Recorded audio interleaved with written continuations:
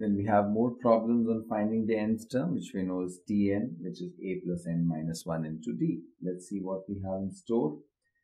Okay, the nth element of the sequence 1, 3, 5, 7, which we did in any case is nothing but 2n minus 1. In the previous example, we did 2n minus 1. And it is interesting to note this is also the formula for the nth odd number, right? Odd natural number. And yes, we do have 2n minus 1. Okay. Here we have another interesting example. The nth element of the sequence minus 1, 2, minus 4, 8 and so on is so and so. Now this if you see is not, is it an AP? We have to check 2 minus minus 1, 2 minus minus 1 is 3. Minus 4 minus 2 is minus 6. So 3 is not equal to minus 6. So it is not an AP. We have to check whether it is a GP. 2 upon minus 1 minus 4 upon 2 8 upon minus 4 if you see all these are equal to minus 2 so that means this is a geometric progression where the first term is minus 1 and the common ratio r is nothing but minus 2 so it's going to be minus 1 is the first term and common ratio is minus 2. So the first thing, suppose they don't specify it's an AP or GP, take care to verify whether it is an AP or GP. If you do not verify, you may end up making a huge mistake and get the whole solution haywire. So in that case, Tn, if you remember, is going to be AR raised to n minus 1. So we have in that case Tn is going to be minus 1 into R that is minus 2 raised to n minus 1. So it's going to be among these you have minus 1 into minus 2 raised to n minus 1 which can also be written as minus 1 raised to n and minus 2. So this is going to be minus 1 into minus 2 raised to n minus 1. So the nth term, I'm sorry, Tn is going to be minus 1, that is a, into r raised to n minus 1 minus 2 raised to n minus 1. So among these, this is the right option. Let's check it. Yes, we do have it that way. Right. Furthermore, we have which term of the progression minus 1, minus 3, minus 5 is minus 39. Now, one point I would like to uh, mention at this stage is candidates have a tendency that when you have a tendency to keep doing things in a serial order, you tend to forget that you need to verify whether this is an AP or a GP. So the previous one, although we are right now into arithmetic progression, the previous one was deliberately introduced to catch you napping. Because often you will tend to think that it is a GP. It is an AP when actually it is a GP. So the previous question was specifically told for you to verify first whether it is an AP or a GP. Otherwise, your entire formula, the nth term formula and the sum of the n term formulas, anything could go wrong. Now, hence, let's do this because it's told progression. If they say AP, we don't have to worry about it. Here, if you see minus 3 minus minus 1 is minus 2, minus 5 minus of minus 3 is minus 2. So there is D exists here. So it is minus 2 because it's going to be minus 3 minus of minus 1 which is minus 2. So D is minus 2. A is going to be minus 1.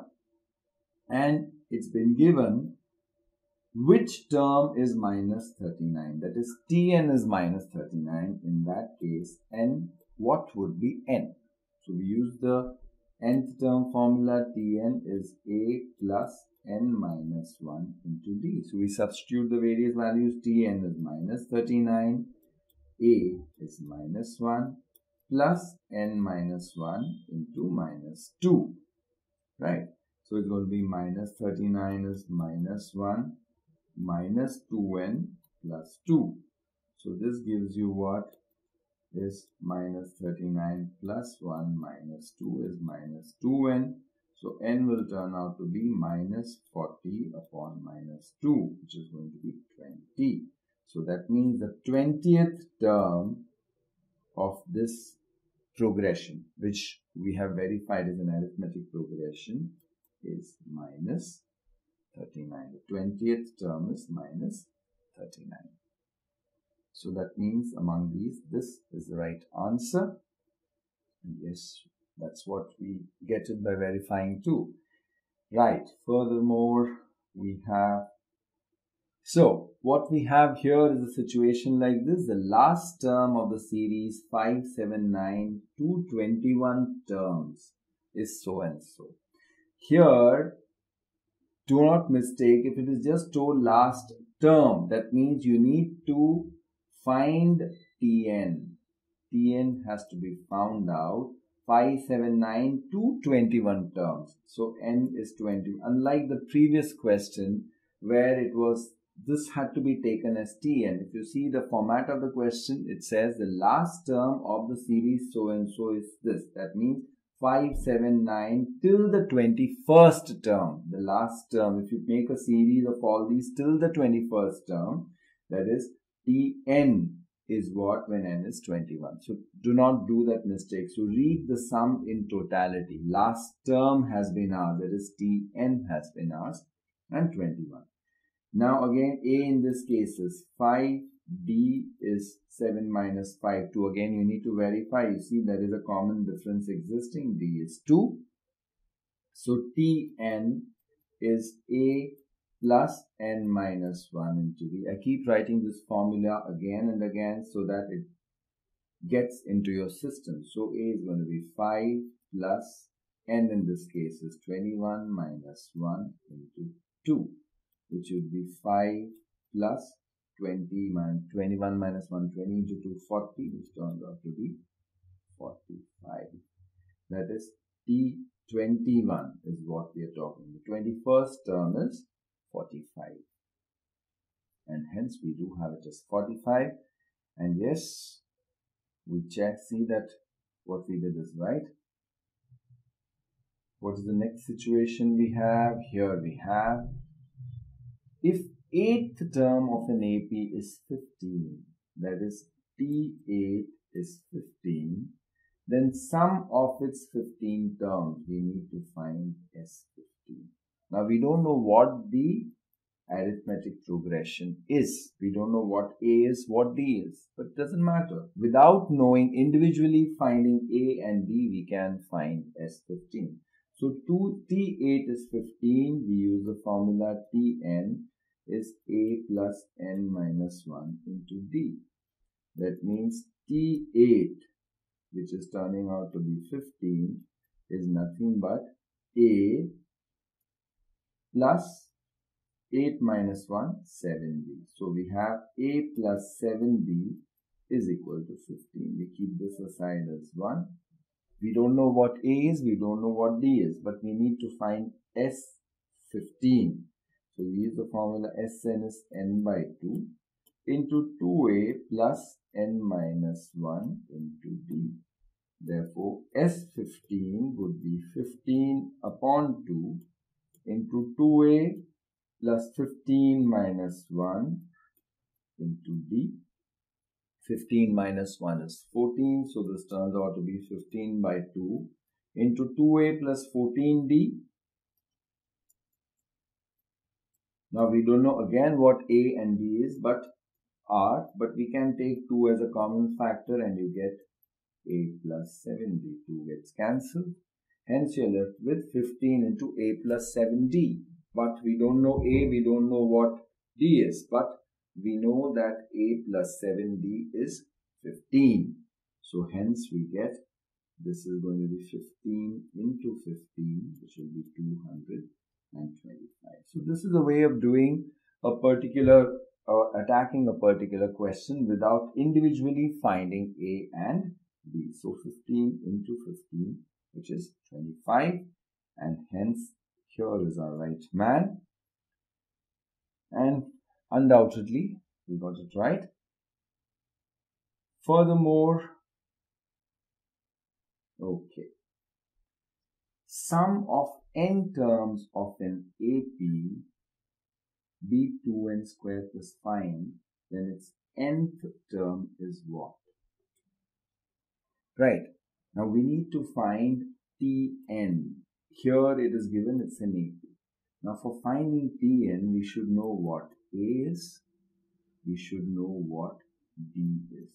Without that, we can't find Tn. But S1, that is the sum of the first term and the first term are one and the same. So if you have an AP like 1, 3, 5, 7, sum of the first term and T1 are one and the same. So if you, in the same formula, Sn is equal to 2n square plus 5n. If you substitute 1 over here, we get 2 into 1 square plus 5 into 1. So that means 2 plus 5, which is 7. So the first term is 7, which means that A is 7. So we have found out A as 7. The next is we need to find D. Now to find D, how do we go about doing this? We know only the formula for the sum of the n term, that is Sn. We already know S1, that is this much. Suppose we are able to find S2. So S2 would be what? Using the same formula, it is going to be 2 into 2 square plus 5 into 2. That is 4 2s are 8 plus 10, which is 18. That is S2 is 18. Now S2 means the first term added to the second term. This total is 18. From that, if you subtract away the first term, you're bound to get the second term. So that means T2 is going to be S2 minus S1. S2 is 18, S1 is 7, so it turns out to be 11. So the arithmetic progression goes as 7, 11 and so on and so forth. So obviously D is going to be 11 minus 7 which is 4. So D is 4. So to find the common difference, find up till the sum up till the second term, find sum up till the first term, find the difference. You could even do find sum up till the third term and then sum up till the second term, find the difference that will give you the common difference. So D is 11 minus 7 which happens to be 4. Now we know Tn is A plus n minus 1 into D.